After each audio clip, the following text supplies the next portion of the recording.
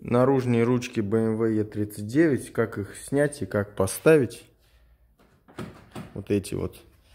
Э, в интернете есть видео, на одном монтаж, ну и делают все профессионалы, а на другом снимают обшивку. Можно сделать это без обшивки, не снимая обшивку, но надо понять, как все это работает и куда, в кавычках, тыкать.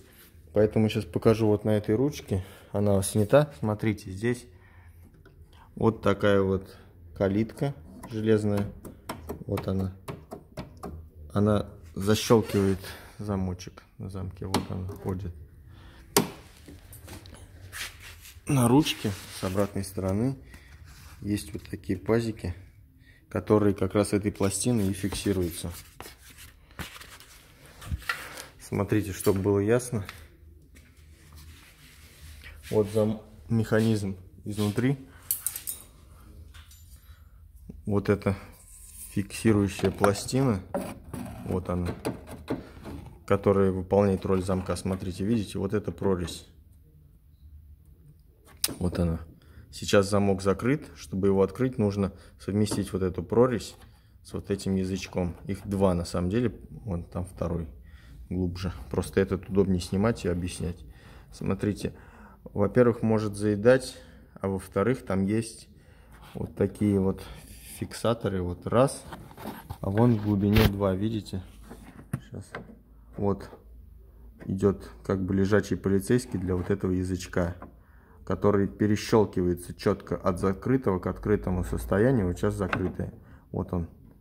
Буртик, через него перепрыгивает вот этот язычок. Поэтому, чтобы открыть или закрыть, нужно приложить сильно, достаточно большое усилие. Смотрите, вот это отверстие, через которое мы работаем. Вот оно. Если хорошенько посветить, видно вот затвор, и в нем есть отверстие круглой формы, куда можно было бы засунуть что-нибудь.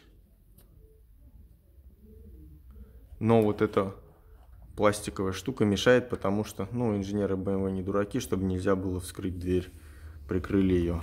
Но при этом можно будет, чтобы открыть, нужно толкнуть вот это сильно. Но лучше толкать не в нее, а упираться вот сюда, смотрите куда-нибудь вот в этот механизм. Сейчас, сейчас, сейчас. Там очень тесно мешает тросик. Вот упираться лучше вот сюда.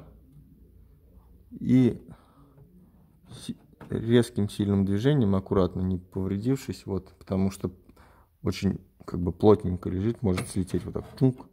Отщелкиваем и открываем. Когда закрываете, можно потянуть вот за этот как раз язычок щелки он закроется. Вот буртик, чтобы было видно, вот он. Вот он. Язычок через него перескочит. Работаю я вот таким электродом. Четверка загнутым, смотрите, вот примерно на расстоянии. Если сделаете вот этот загиб больше, там не полезет, потому что мешает, во-первых, вот этот трос, замка. А во-вторых, сам вот пластиковый корпус замка уже не позволяет орудовать чем-то типа шестигранника. Вот он. Толкнуть можно в него, только аккуратно, чтобы не повредить вот эту панельку двери.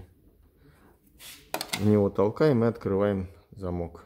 Показывать не буду, потому что замок только что закрыл. Не хочется искать все приключения на жопу. Можно чем-нибудь другим, типа отвертки вот так или долота толкнуть. А вот закрыть уже лучше, как я показывал.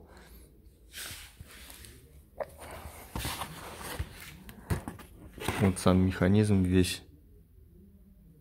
Еще раз подробно для тех, кто будет мучиться.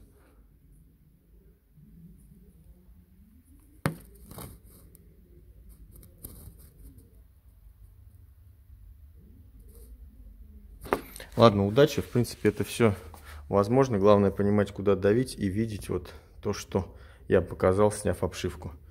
Для самого снятия ручек обшивку снимать не обязательно. А ручки сами заходят просто. Подсовывается. теребится вот так и вставляется на место.